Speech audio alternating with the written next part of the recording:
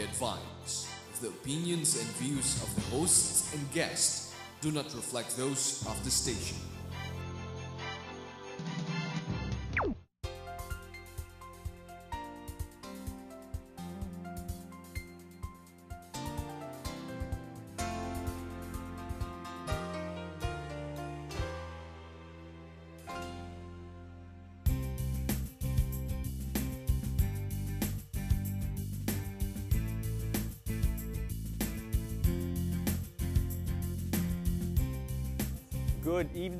And gentlemen. Welcome to Philippines Uncut. I'm your host, Buddy Cuananan. Now, in this show, we talk about everything under the sun, and tonight's topic is about arts. You know, folks, tonight is a very special evening because we're kicking off on GNN the, for the first time on Philippine TV. We are actually kicking off the UNESCO's International Arts Education Week, which is starting tomorrow in different locations all around the world. And tonight you're going to talk about, we're going to meet some very interesting personalities who have been at the forefront of arts education for many decades, for many years. And we're going to talk about how art, more than being just a mere flight of fancy and hobby for many, can actually be a potent force for social change and transformation. And joining us on the set here in GNN on Philippines Uncut is none other than Ms. Cecile Guidote Alvarez. Good evening, Ms. Alvarez, and Good welcome evening, to Philippines. Uncut. Uh, and to your fans. No, it's an honor to have you here, Ho, because um, especially for a topic like this, because when it comes to arts and arts education, if you have the credentials that you have over the years and your your your your um, your dedication to this field is admirable. But uh, please tell us, tell the, the viewers about yourself. About myself. Yes, I mean for, for those who don't know yet who, and, and there aren't many who don't know about Ms. Alvarez, but for those who don't know, tell us a bit who is Cecile Guidote Alvarez? Well, I'm. Um, I've been uh, in the arts for more than 50 years, and so you can see the white hair. um, we founded PETA, uh, which is the Philippine Educational Theater Association, and um, we also worked in exile out of uh, La Mama Theater, which uh, pioneered the off off Broadway uh, movement, and worked with uh, ethnic cultural uh, minorities. So you have. Filipina, Mexican now, who we're all cheering for the American Idol. Jessica Uh, Sanchez. ethnic uh, uh, cultural minorities were our concern. And then, of course, um, now under a restored democracy, we're uh, pushing for really um, accessing arts education to vulnerable groups, which we call cultural caregiving. So uh, we try to um, give this uh, very meaningful experience to uh, differently abled uh, people under difficult circumstances in trauma, whether they're in prison or refugees of armed conflict or economic, uh, ecologi- economic and ecological disasters, yes. Uh, uh, sick people in the hospitals. I mean, uh, arts has such a healing power as well.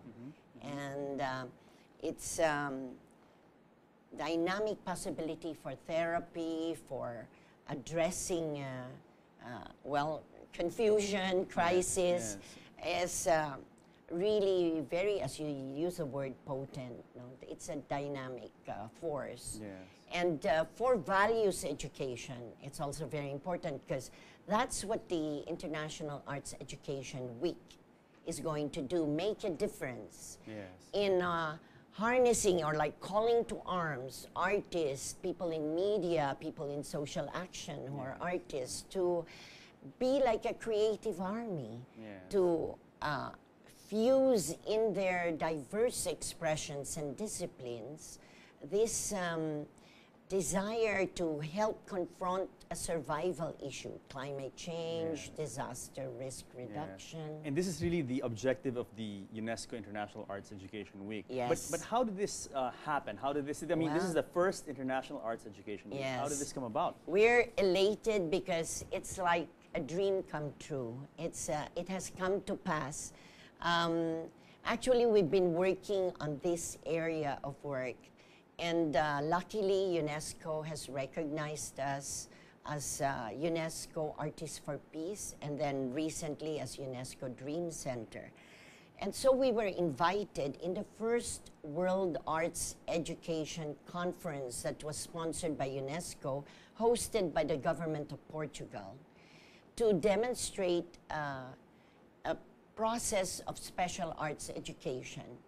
And we brought in our team of Earth Savers Ensemble. Uh, we had our artist teacher, like uh, Frank Rivera, joining us. And what happened is, um, uh, they made an impact. Uh, and uh, in the process, we advocated for a World Arts Education Week. That was 2006.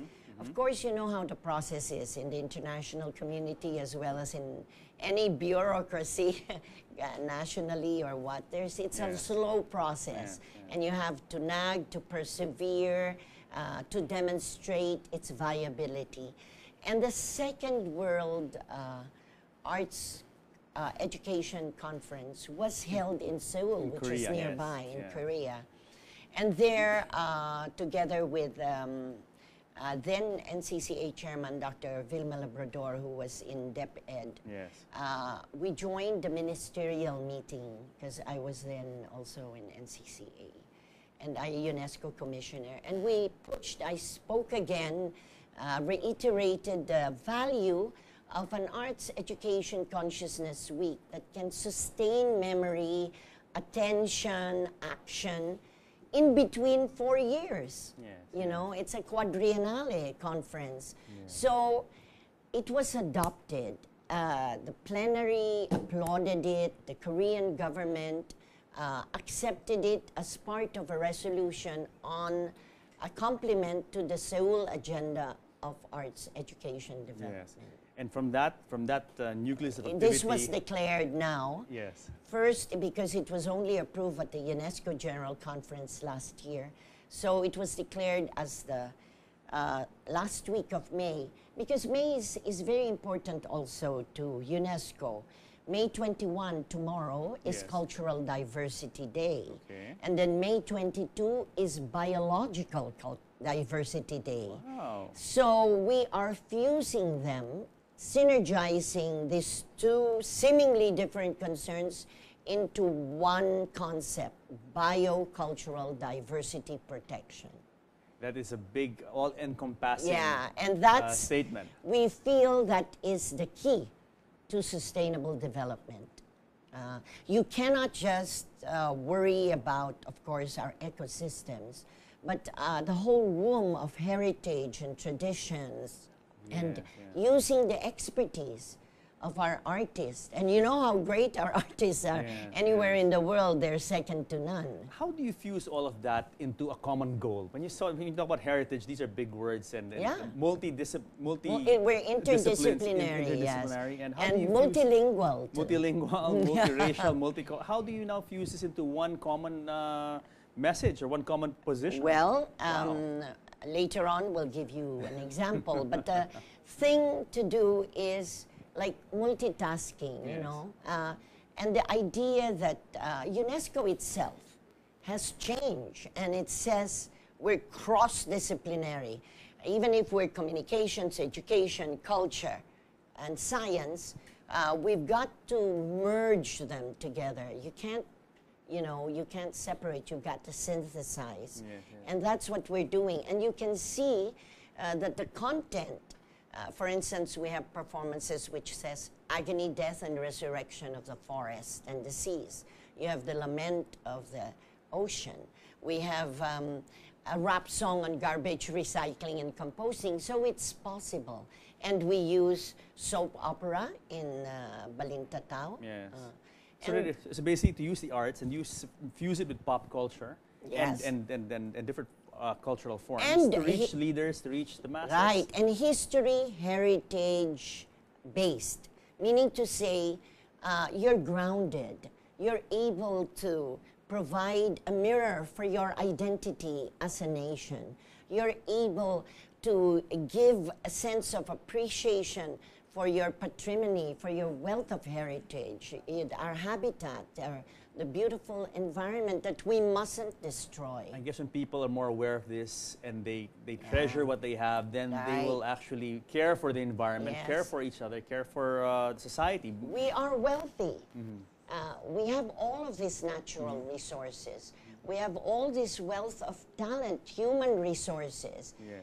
And, and uh, what we were showing, that's why it was recognized by UNESCO, is that we could show that what we consider as damaged human resources can be transformed, can be recycled into responsible uh, citizens. members of society. Yes, the physically blind, challenged, mentally challenged, Yeah. uh, people in difficult circumstances, suicidal people, you'll be amazed how, if you deal sensitively, relevantly, and have a compassion and a caring, that's why we call it cultural caregiving.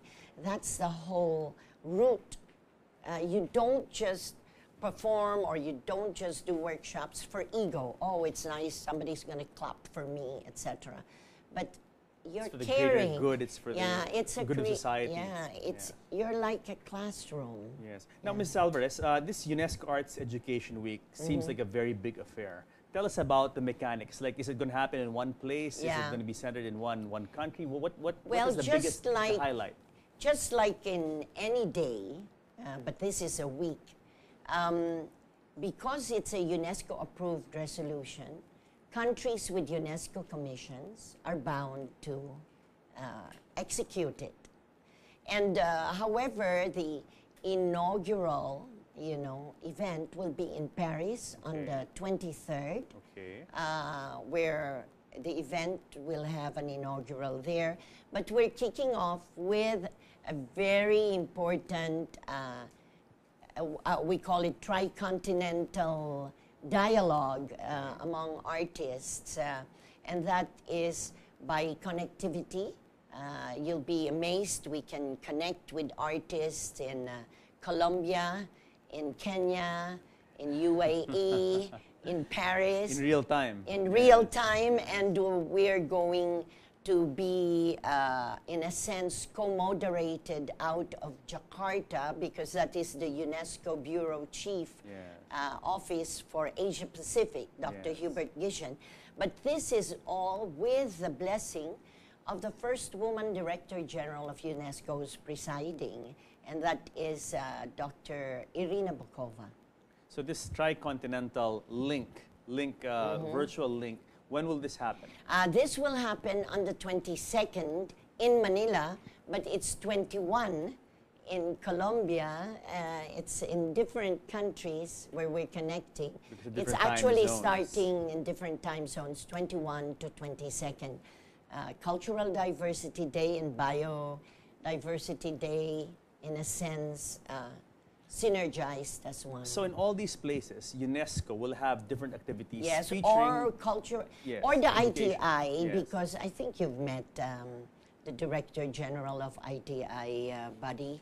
Um, we, it has a membership of 100 nations. So the community of artists uh, will be doing their own thing. Even here in the Philippines, we've gathered, you see, uh, DepEd is involved, uh, Brother Armin's uh, office, uh, CHED, um, Chairman Tati Licuanan, uh, TESDA, where uh, also uh, NCCA, some of their activities are converged in a calendar of events uh, that will be presented to Paris as a Philippine panorama of um, artistic educational activities.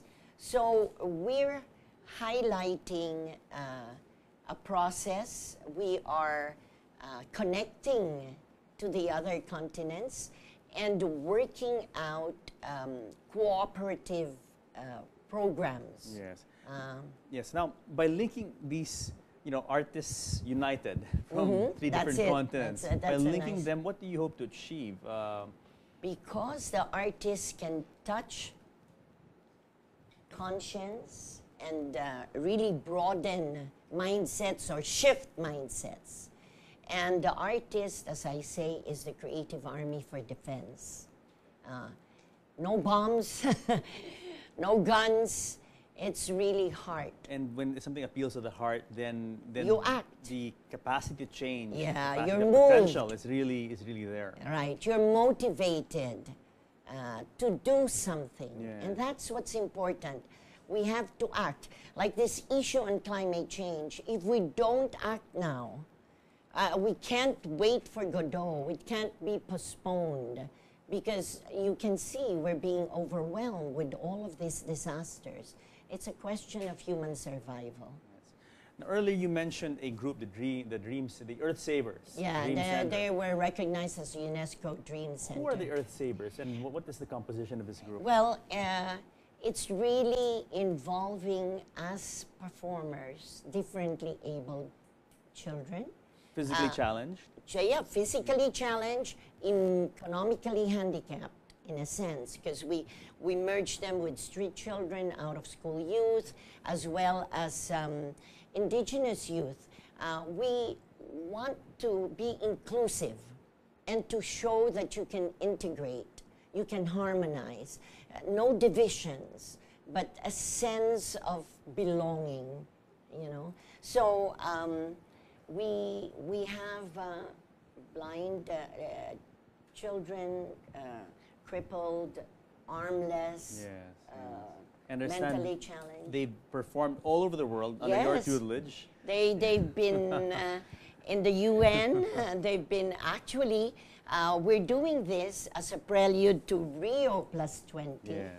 And uh, you'll be amazed, they, they were in Rio, uh, but uh, these are new ones now, but the old ones. And I understand that there are three uh, Earth Savers Yes, with here. you today, and they will give us a special uh, number to close our first segment. Uh-huh. And uh, he- here they come now. Can you tell us a bit about their well, background? you must um, uh, understand that uh, they're all blind, but uh, you'll see their confidence and capability. Yes. Uh, what are they going to sing? that's what's going to interest you, hopefully.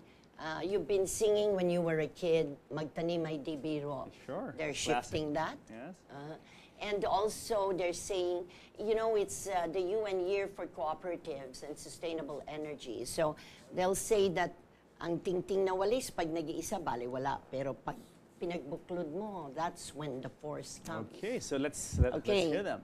So there's Malin, there's uh, um, uh, Maricor, and there's uh, Cam- Camille. Okay, girls, Okay. Okay. take it away. Kung tayo'y magtatanim, dadami ang pagkain, giginhawa ang buhay, yayaman pa itong bayan. Magtanim, magtanim, meron kang aanihin.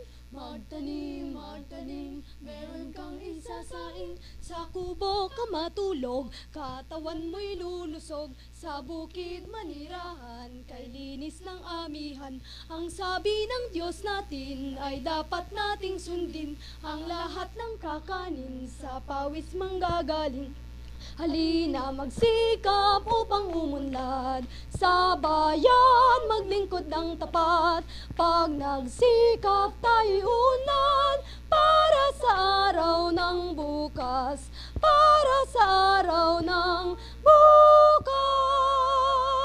Tayong Pilipino kung magsasama-sama. Lahat nating naisin, abot kaya na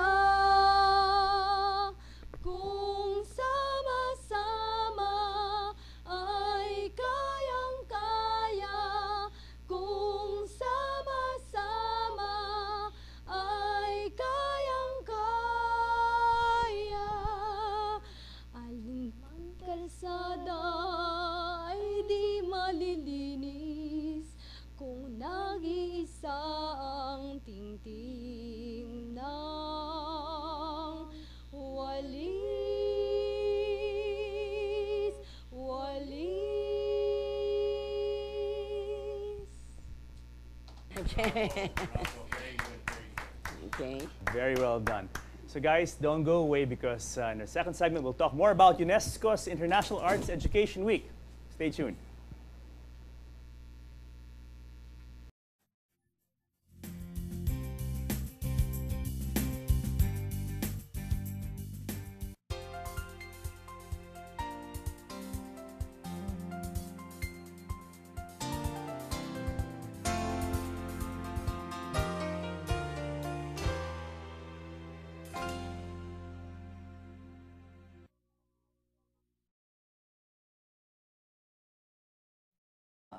People under difficult circumstances, in trauma, whether they're in prison or refugees of armed conflict or economic, uh, ecologi- economic and ecological disasters, yes. Uh, uh, sick people in the hospitals. I mean, uh, arts has such a healing power as well.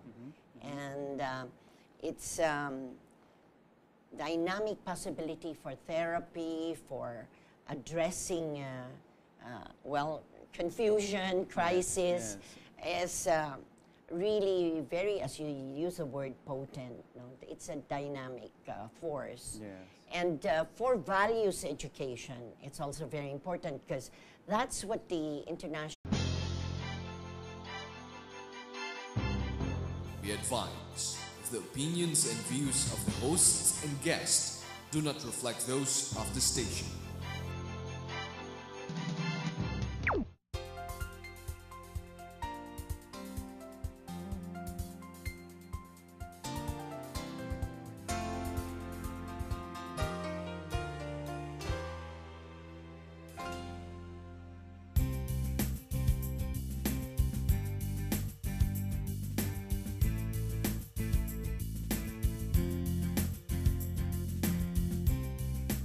Good evening, ladies and gentlemen. Welcome to Philippines Uncut. I'm your host, Buddy Cuananan. Now, in this show, we talk about everything under the sun, and tonight's topic is about art. And if you have the credentials that you have over the years and your your your your um, your dedication to this field is admirable.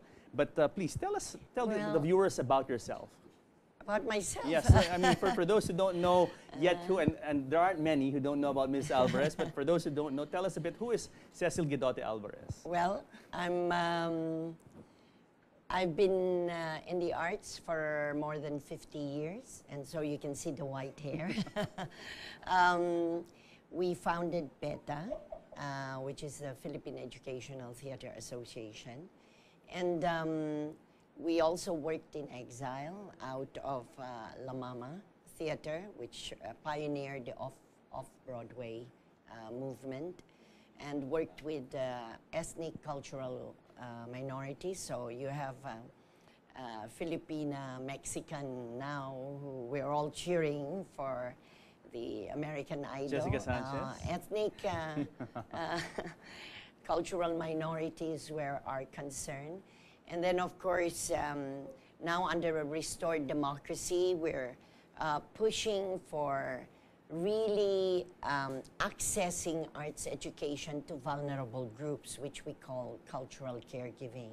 So uh, we try to um, give this uh, very meaningful experience to uh, differently abled, uh, You know, folks, tonight is a very special evening because we're kicking off on GNN the, for the first time on Philippine TV. We are actually kicking off the UNESCO's International Arts Education Week, which is starting tomorrow in different locations all around the world.